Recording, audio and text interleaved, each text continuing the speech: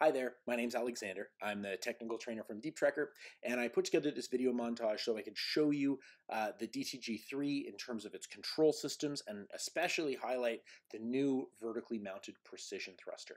Now this is our smallest ROV. Um, the whole system, ROV, tether, and controller, and any add-ons you have fit into a single wheeled Pelican case. Um, it's got an eight hour battery life and a 300 meter depth rating. Uh, you can pick it up and carry it with uh, one or two fingers. Uh, it's, it's really an amazing system uh, for its size with a 4K camera and super bright lights. Uh, now, in terms of its operation, the way we set up these devices, we ballast them to be neutrally buoyant. So you can add and remove uh, weights uh, so that when you take your hands off the controls, it sits, as this unit is here, uh, without moving in the water when we want to move, we can use the two main thrusters on either side of the robot. If I push forward on a joystick, it moves forward. If I pull backwards on that joystick, it moves backwards. And when I push left and right, we get alternate thrust and the robot turns on a dime. Now the reason the robot turns so precisely, and you can see that those sort of like sudden moves, it suddenly stops. Um, it's very, very easy to control because it's got a uh, an accelerometer, a gyroscope, and a compass built into that uh, sensor pod and it recognizes rotational velocity and fights any rotational velocity uh, which is not a direct result of any control inputs. So the robot is quite easy to maneuver, uh, especially in a two-dimensional plane. When and and uh, you know, caveat, you have to ballast your your robot properly, but once you have, it's really easy to use. Now it gets a little bit trickier when you start thinking about moving vertically through the water column. I've got another joystick, when I push forward or pull backwards, it pitches forward or pitches backward, and it pitches relative to the amount of displacement of that joystick. Um, so you have to think about it like a fixed wing aircraft. I pitch the aircraft and then apply thrust to move it through uh, the water column. Uh, in this case, watercraft, I guess would be the appropriate, appropriate term. Uh, so it moves very quickly up and down. You can get to depth fast. Uh, it, it's very efficient in terms of your time because of its ability to sort of point its strongest thrusters in one direction and then move. And when you take your hands off those thrusters, it sits stationary. Now, we also have a depth hold mode. So this is uh, valuable when you're not perfectly ballasted or if you've got turbulent water that's pushing the robot up and down, uh, or if you want to move slowly uh, in a vertical direction so that you have a nice um, a nice vertical inspection of structure underwater.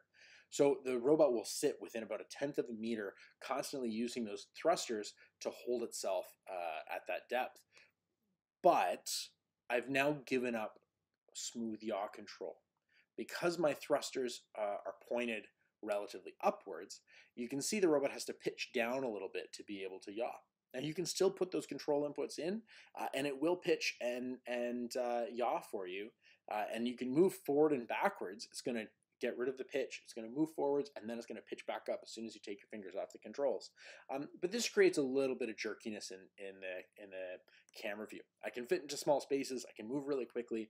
Um, when I do a, uh, a an inspection, especially when when a skilled operator uh, is doing an inspection, we might not even use the depth hold mode because we're just constantly pitching and thrusting and, and manipulating the camera. So you're moving three joysticks all at once.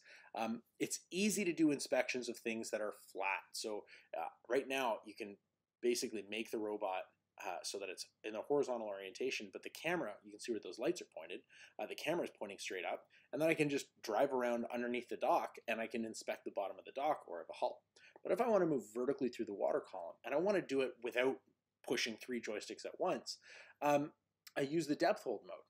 With the new vertical thruster, the depth hold system is so much simpler. Uh, uh, essentially, I'm doing the same thing. I hit the depth hold button and I push up to go, uh, sorry, I guess I push forward to go down or pull back to go up. Um, but in this case, the robot stays level. And this allows me to have very tight yaw control as well as to be able to move in and out uh, relative to, to whatever object it is that I'm inspecting. So uh, you can do this with a, a, base level unit, but you can do this far more precisely uh, with the precision thruster, this vertically mounted precision thruster. So it's really ingenious to me. Um, essentially you've got the one thruster on the back, uh, and in, in this case, the robot's about to descend. So that thruster is going to push up. Well, the robot would spin around in a circle, except that it uses the same counterweights from the pitching mechanism uh, to directly counteract the torque of uh, that thruster. And so what you get is a smooth vertical motion rather than rotational motion.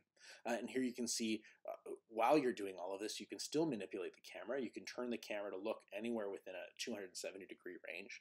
Uh, so you've got an incredible amount of precision in the position of your robot and in the position of the camera to see exactly what you need to see. Um, this, to me, is a, a, a, big improvement over the previous uh, sort of base level system but both are incredibly effective. And uh, and for me, I came to this company as a as a licensed Canadian drone pilot, and I find the DTG three uh, a joy to pilot. Um, it's it's both fun, it's intuitive, and uh, and it's very effective. I've got some more clips here. I'm running out of things to say. Uh, I've got some more clips here, so I'll just I'll just let it run for the next 30 seconds or so, uh, just so you can get a, a feel for its for its movement.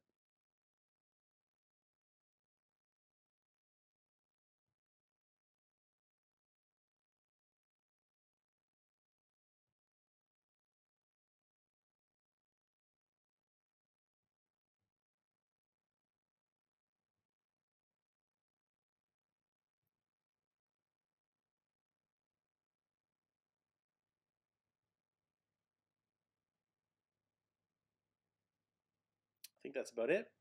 So uh, thanks so much for watching, and uh, I hope this was informative.